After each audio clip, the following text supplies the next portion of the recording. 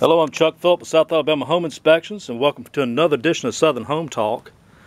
And so sometimes I may find this, sometimes I may not. You know, it's really hard to inspect an attic, especially when you can't traverse it.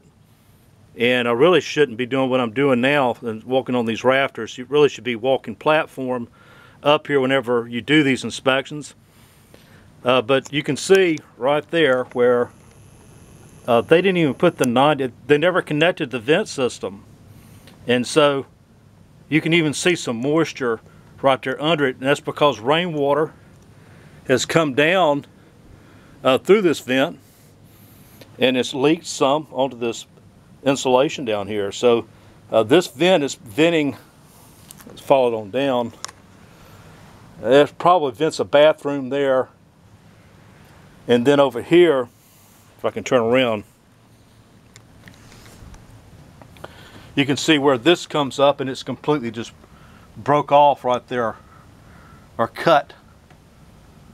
So this wasn't connected either. So this sewer gas is just venting into the attic, and that, I think that vents the uh, the laundry room uh, washing machine. I think that's what that vents. and also too, we're uh, looking at the vent stack for the dryer vent and you can see right there up there at the top where it's uh, got some moisture stains so it's got a small leak around that. And it's on the back side where you really couldn't see this either from the attic entrance. That's the entrance way over there in the garage. And some of these newer houses uh, they only have this one attic entrance and it leaves you to where you can't hardly get to the other side at all.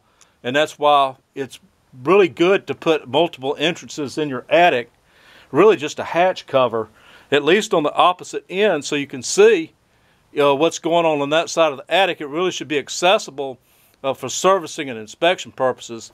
And the best time, like I say, to inspect your attic is when it's raining. Of course, fortunately for us, it rains almost every day. So there's really no excuse for not uh, coming up if you're able to, uh, to come up here and look for leaks when it's raining really hard. Well, I hope this has been informative, guys, and thanks for watching again.